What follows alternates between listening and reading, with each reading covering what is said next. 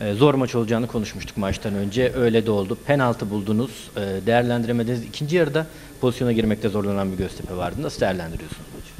Ee, aslında ilk devrenin 10 dakikası 15 dakikasından sonra oyun bizim kontrolümüzde geçti. Pozisyonlar bulduk. Penaltı pozisyonu var.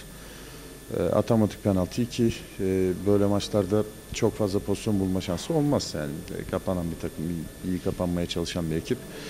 E, penaltıyı atamadık. Bir iki tane daha pozisyon var onları atamadık. Devre bitti.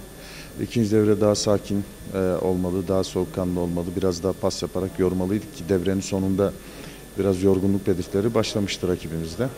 İkinci devre ikinci devre hiç organize değildik yani siz pozisyon bulmakta zorlandığımızı söylediniz ama zorlanmadık çünkü hiç pozisyona girmedik aşağı yukarı.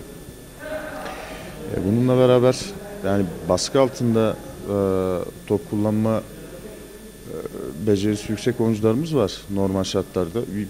Yağışa rağmen fena da bir zemin değil. Burada gayet iyi bir stat, iyi bir zeminde oynadık.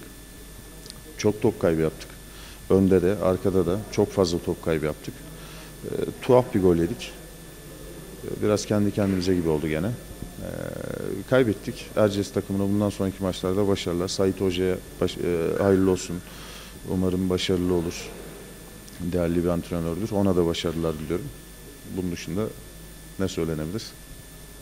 Hocam özetlediğiniz her şeyi. Çok teşekkür ediyoruz. Biz size başarılar diliyoruz kalan maçlarda. Ben tekrar sözü size bırakıyorum. Yasin Köse'ye teşekkür ediyoruz. Röportajlarımız burada sona erdi.